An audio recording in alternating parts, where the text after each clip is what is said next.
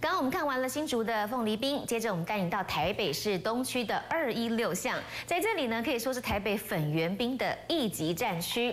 其中有一家老店，三十年前就已经在巷口摆摊，算是东区的第一家粉圆冰。后来这个老板因为家庭因素忍痛结束了营业，不过现在呢他卷土重来，选在巷弄内另辟战场，而店里头的红心粉圆跟配料依旧维持传统的手工制作。虽然粉圆冰龙头的位置。已经拱手让人，不过他说，只要客人吃得到他的用心，谁是第一名又有什么重要呢？热到发晕的天气，从地板到看板都是烫的。如果这个时候来一碗冰凉的粉圆冰呢？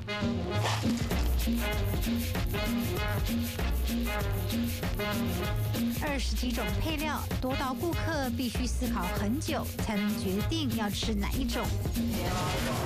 然后豆花，豆花花了再等。啊，那没那没关系啊，那就软豆，呃，然后其实我们大部分都知道是东西对，但是问题是有一次，嗯，我在网络上看到有人介绍这一家，钻进来之后就是另外一个，他比外面好吃。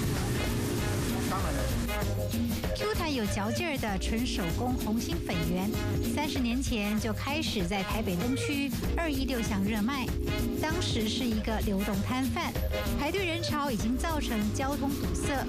这段粉圆传奇，许多顾客还隐约记得。这家是最早期的，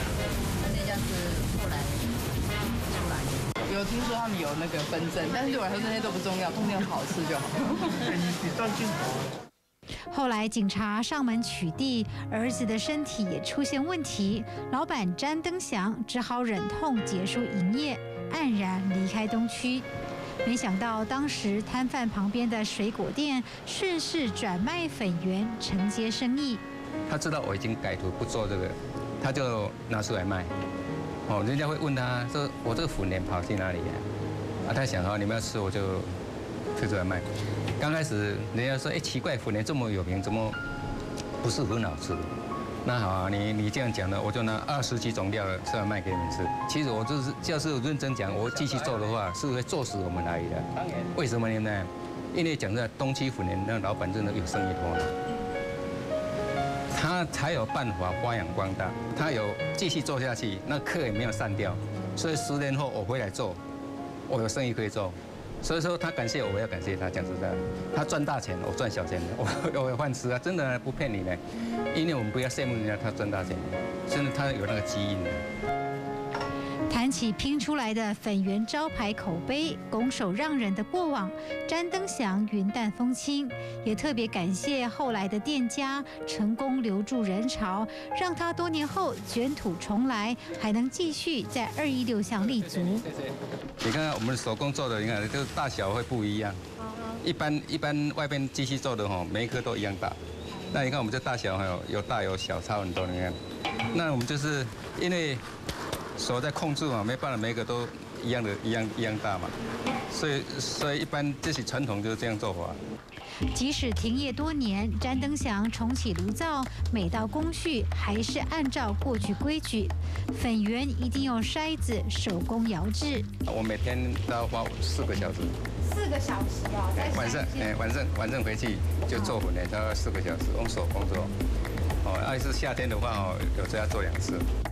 这边煮哦，在边边给它动一动，不然它会连在一起啊。这顺时钟哦，在逆时钟，这样才不会连在一起，不会直接直接整断。红心粉圆的传统制法是向新竹的老师傅学的。詹登祥原本在新竹城隍庙卖鱿鱼羹。饿不死也吃不饱。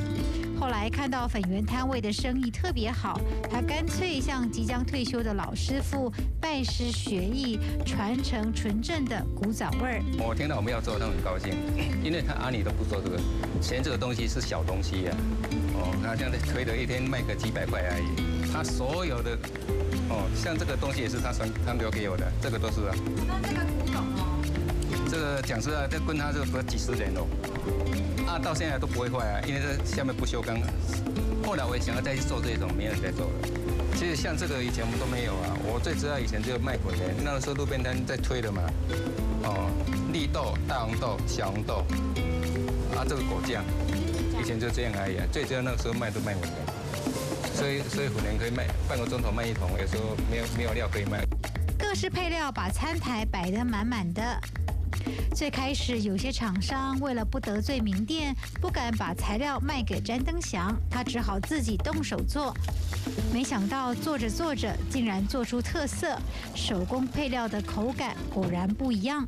供应厂商听到我这边卖，他不敢卖给我，他想哦，他是大主顾啊，一个一个，后来还有自己进来，结果啊，他他气我生意不是很好，买很多就一说拿了隔夜的给我。哎，回来一煮啊，会酸掉啊，哦，那不行。后来我跟阿，干脆自己做。这一眼一眼地瓜也也是我们自己做的啊。汤圆也是啊，这汤圆就我们传统手传纯粹的汤圆。自己做的要自己摇了。要要阿妈那说啊。回到三十年前发迹的粉圆名相，詹登祥说：“当老二也没什么不好，只要旧与新知，吃得到手工的用心，吃得出独特的风味儿。正不正宗，创不创始，有什么重要？”中的传统市场里，有年纪超过六十岁的三姐妹一起卖着上海小菜跟热炒，这现煮现卖的好味道，客人都说口味绝对不输给台北南门市场的名店哦。另外呢，中破塞等级的鸡肉饭，肉嫩多汁，那么还撒上了现炸的油葱酥，美味更上一层楼，也是嘉义在地人才会吃的鸡肉饭呢。精彩内容不要走开，马上回来。